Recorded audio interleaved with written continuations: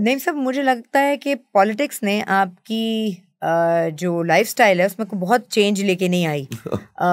पहले आप किराए के मकान में रहते थे उसके बाद भी आप किराए के मकान में हाँ ये तो है। हाँ? हाँ वो तो चल रहा है अभी भी। और बस चल रहा है मकान तो बस अल्लाह मियाँ जन्नत में दे दे। बाकी दुनिया में मकान बनाना कोई बुरी बात नहीं है। हम्म। ज़मीन लेना भी कोई बुरी बात नहीं है।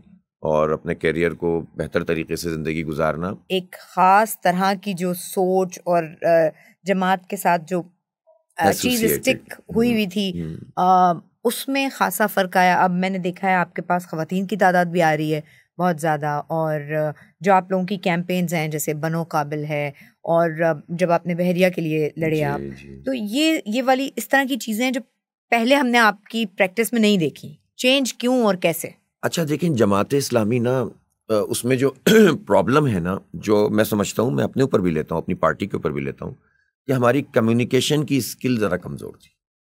सोसाइटी में हम अपनी आइडियोलॉजी को और अपने जो समझ लें कि जो हमारा बूदोबाश है और जो हमारा, हमारी फ़िक्र है इस्लाम के हवाले से और वो हम पेश नहीं कर पाते थे। करते थे, एक सर्किल तक तो पहुँचते थे, लेकिन माशरा तो बहुत बड़ी तादाद में लोग होते हैं ना तो हर सोसाइटी के हर फैक्शन तक हम नहीं पहुँच पाते थे, हर सेगमेंट तक नहीं जा पाते थे। तो हमने फिर इस बात की कोशिश की कि जो हम हैं, वही हमें नज़र आना चाहिए। हमारे ऊपर कोई ऐसा लिबादा नहीं होना चाहिए कि जो एक मसनू लिबादा हो। हम आम लोग हैं तो आम लोगों से हमें मिलना चाहिए। हम हर तरह के लोगों को साथ लेकर चलने की सलाहियत रखते हैं तो यही बात लोगों को पता होनी चाहिए। तो इसलिए जमात इस्लामी ने फिर इस पर कोशिश की, मेहनत की, हमने अपनी पूरी टीम बिठाई, हमने फोकस ग्रुप किए, हमने क्वालिटेटिव और क्वांटिटेटिव सर्वेज किए, अपने बारे में परसेप्शन का जाना जो हमें बहुत बुरा भी लगा कि हम ऐसे नहीं और हमारे बारे में ऐसी ऐसी बातें। जो कि शायद जमात के लिए बड़ी नई चीज़ है। हाँ। नहीं? हम करते थे पहले भी लेकिन हमने फिर सोचा कि यार हम ऐसे नहीं है जैसा हमारे बारे में जो है ना लोग सोचते हैं। तो हमें तो कोई प्रॉब्लम नहीं होती। हमारा कोई एक मखसूस लिबास नहीं है हमारा कोई मखसूस हुलिया नहीं है। हाँ अलबत्ता एक इज़्ज़त और वक़ार और एक हया ये जो इस्लाम की तरफ़ से हमें जो है वो अतिया करता है जो हमारे लिए एजाज़ है हमें उसको मेंटेन करना चाहिए। लेकिन मैं किसी को भी क्रॉस तो नहीं कर सकता इस बुनियाद पर कि आप जो हैं जब इस हुलिये के बन जाएँगे तो फिर आप, हम हम आपसे बात करेंगे, वरना तो आप जाइए। तो फिर हम फिर हम पार्टी क्या हुआ है? फिर हम दावत क्या पेश कर रहे हैं? दावत तो उसी को देनी होती है कि जिसको आपको कायल करना होता है। कायल करने के लिए तो कनेक्टिविटी चाहिए कम्युनिकेशन चाहिए। तो ये सब चीज़ें हमने की और फिर हम इस नतीजे पे पहुँचे कि हमें लोगों से डायरेक्ट इंटरेक्शन बढ़ाना पड़ेगा।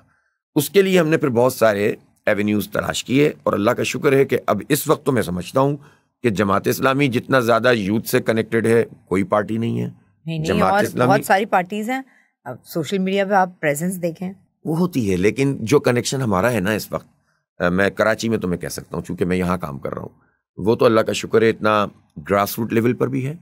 फ़िज़िकल भी ज़ाहिर है हम उनके साथ इंटरेक्ट कर रहे हैं। देखें पच्चीस हज़ार बच्चे अगर इस वक्त बनो काबिल में पढ़ रहे हैं हम्म। तो पच्चीस हज़ार बच्चे नहीं है वो। उनके पच्चीस हज़ार खानदान हैं और उनके दोस्तों का सर्किल है। और उनके ज़रिए से सोशल मीडिया पे जो मैसेज कम्युनिकेट हो रहा है कि हम किस तरह हमने उनका हाथ पकड़ा है। आप तो खुद इसकी चश्मदीद आप गवाह हैं कि आपने देखा था और उन बच्चों के ऊपर जो चमक आपने देखी कि उनको कोई हाथ पकड़ने वाला मिल गया। हम्म। हम जिस तरह से उनके इश्यूज़ को टेकअप कर रहे हैं अभी आप रिसेंटली देखें इंटरमीडिएट के बोर्ड में ज्यादती हुई कराची के बच्चों के साथ कि 64 परसेंट साइंस स्टूडेंट्स को फेल कर दिया ग्यारहवीं जमात में। और 80 परसेंट कॉमर्स और आर्ट्स वालों को फेल कर दिया। ये बहुत बड़ी ज़्यादती है। मुझे मालूम है कि निज़ाम इतना अच्छा नहीं है बच्चे फेल होते भी हैं तो पहला सवाल तो ये है कि ये निज़ाम इतना ख़राब क्यों है? इंटरमीडिएट एक सरकारी बोर्ड है। सरकारी बोर्ड का मतलब है कि आप तबाह कर दोगे बर्बाद कर दोगे हमारी नस्ल को। कितने लोग हैं जो प्राइवेट बोर्ड्स में पढ़वा सकते हैं? कितने लोग हैं जो ओ लेवल्स और ए लेवल्स अपने बच्चों को पढ़ा सकते हैं? बहुत लिमिटेड हैं। जितने भी हो जाएँ बहुत थोड़े से ज़्यादातर को तो इसमें जाना है ना? तो ज़्यादातर के लिए आप तालीम के मौके ख़त्म कर दोगे। फिर उसके बावजूद भी अगर वो मैट्रिक में उन्होंने नाइन्टी परसेंट ले ली तो आप ग्यारहवीं जमात में उसके तीन पेपर फेल कर दोगे। उसकी बहन डॉक्टर, उसका भाई डॉक्टर, वो खुद नाइन्टी परसेंट लेने वाली, उसको तीन पेपर में फेल कर दिया है।